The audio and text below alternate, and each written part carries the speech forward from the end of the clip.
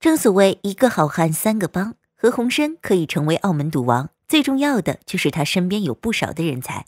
其中啊，李慧文堪称是何鸿燊的头号虎将。说到李慧文，许多人可能不认识，但是如果没有他，何鸿燊家族至少要少赚几百亿。李慧文是澳门博彩业的元老人物，他个人的身家也高达几十亿。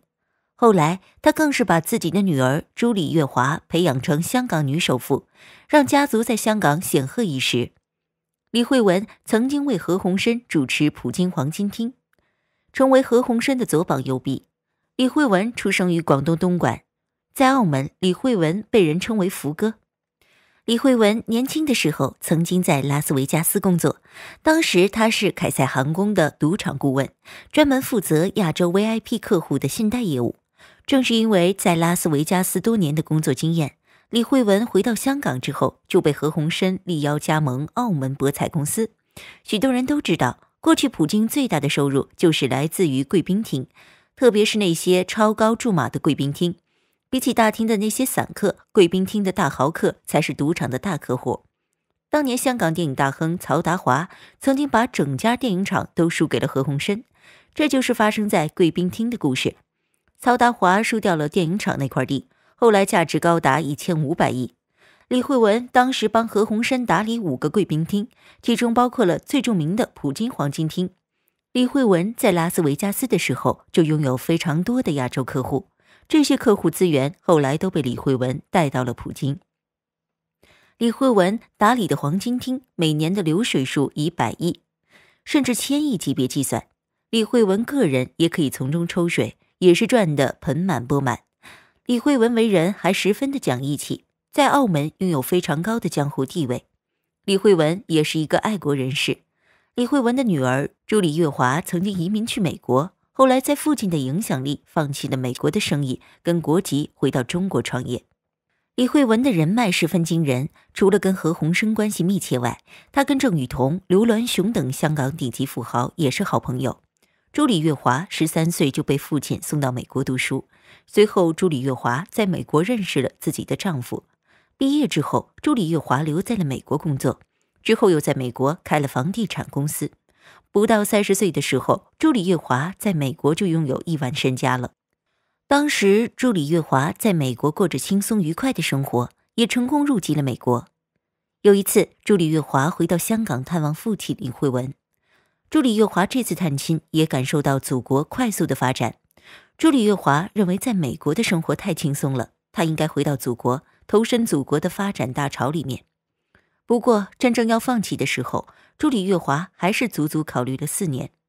这其实都是人之常情，毕竟朱李月华在美国已经家大业大。不过四年之后，在父亲李慧文的劝说下，朱李月华最终放弃了美国国籍跟美国的生意，回到了香港重新开始。朱李月华最初还是希望回到香港经营自己的老本行房地产。不过，朱李月华回到香港之后才发现。香港的房地产跟美国不一样，香港房地产的发展空间非常小了，因为几乎都被四大家给垄断了。这个时候，李慧文告诉女儿，自己有一个朋友要退休，计划把自己的金融公司转让。朱李月华认为这也是个很好的机会，因为香港不仅仅是地产的世界，更是全球有名的金融中心。在父亲的帮助下，朱李月华成功收购了这家公司，拿下了金融的牌照。随后，朱李月华在香港开了一个小小的证券行。朱李月华跟丈夫两个人一起重新做起。在朱李月华的创业过程中，李慧文的人脉起了很大的作用。李慧文把郑裕彤、刘銮雄、李泽楷等大人物都介绍给了女儿朱李月华认识。后来，朱李月华的公司也逐渐成为这些大亨的御用证券行。朱李月华也成功在香港赚到了第一桶金。朱李月华之后啊，又看中了一个新的业务，那就是内地公司赴港上市。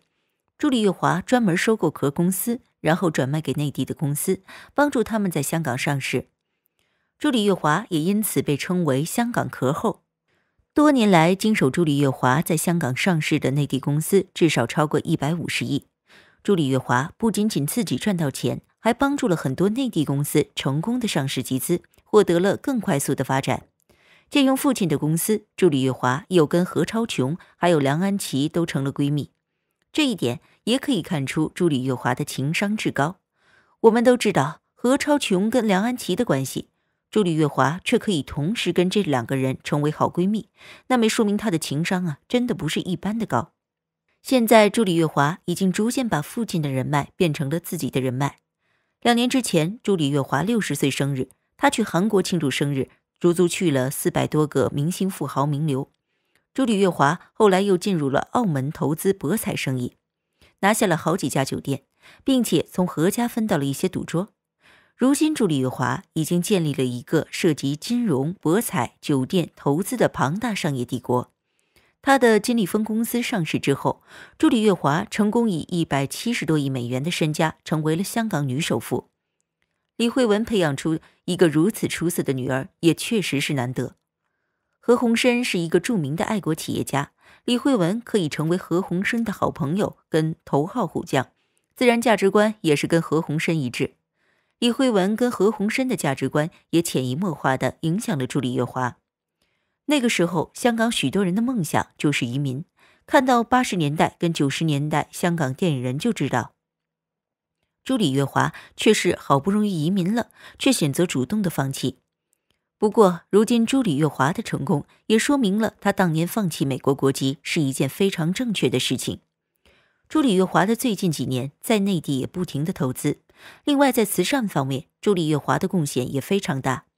朱李月华在中国科学院设立自己的奖学金，用于奖励那些出色的科研人员。接下来的内容更精彩。因给赌王擦身子，他差点成为第五姨太，被棒打鸳鸯后赚一亿。许多人眼中，护工是一份不光彩的职业，更何况许多护工都会与主人产生感情的纠葛，这也让儿女们不想给爸妈雇佣护工。其实啊，请护工方便了很多，有些儿女无法亲自照顾父母，而护工则代替了儿女照顾父母。但是你能想象到吗？赌王最后一位喜欢上的人是护工。赌王离开人世之后，护工获得了一亿元。自从赌王离开人世之后，大部分人都比较关心何鸿燊的遗产处理问题。虽然何鸿燊娶了多个老婆，但是每一个人都获得了不错的遗产。赌王何鸿燊一生娶了四个老婆，甚至小老婆嫁给赌王时，赌王的年龄已经超过了六十岁，而他的老婆当时仅有二十九岁。尽管许多网友都不看好这段年龄相差太大的婚姻，甚至还有人认为两个人不会相处太长的时间。虽然何鸿燊已经向四太梁安琪承诺自己并不会迎娶新的老婆，你是最后一个，但是好景不长，赌王依旧没有停止沾花惹草，甚至动了娶妻生子的念头。而随着赌王的身体出现了特别大的病症，需要人照顾的时候，自己的老婆和孩子都比较忙。那怎么办呢？请护工。虽然丈夫向她承诺了感情之事，但是梁安琪始终不放心赌王身边出现貌美如花的女人。为了防止赌王产生娶妻生子的想法，梁安琪特地请来了不太漂亮的郑永诗。自从郑永诗成为了赌王身边的护工之后，两个人经常同时出现在同一场合。郑永诗不仅要为赌王擦拭身体，还要照顾他的衣食住行，包括上厕所等等。而郑永诗也不会出现特别烦躁的情绪，两个人经常谈心。了解完郑永诗后，杜王发现自己慢慢喜欢上这个小护工了，而郑永诗也喜欢上了何鸿燊。当赌王提出迎娶郑永诗的想法之后，梁安琪提出了反对意见，因为梁安琪想到有一个人曾经照顾古王，最后变成了三姨太，如果自己不反对，这位护工啊，可能就是五姨太了。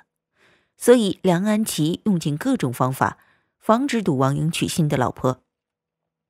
自从赌王得知四姨太的想法之后，就放弃迎娶新的老婆。但是，为了弥补郑永诗，赌王特意送了护工一亿元。这种结果对于双方来说是最好的结果。四姨太不用担心老公迎娶新的女人，郑永诗也不会为了嫁入豪门而争宠。况且当时赌王已经八十八岁了，郑永诗嫁过去也没有几天好日子过。因给赌王擦身子，差点成为五姨太，被棒打鸳鸯后赚一亿。这一亿人民币对于女人来说啊，是一笔巨大的财富。郑女士完全可以拿着这笔钱过上特别幸福的生活。因给赌王擦身子，净赚一个亿，这位护工啊，差点就成为五姨太太了。好了，以上是本期的内容。如果您喜欢我们的节目，欢迎订阅、点赞、转发，感谢大家的支持。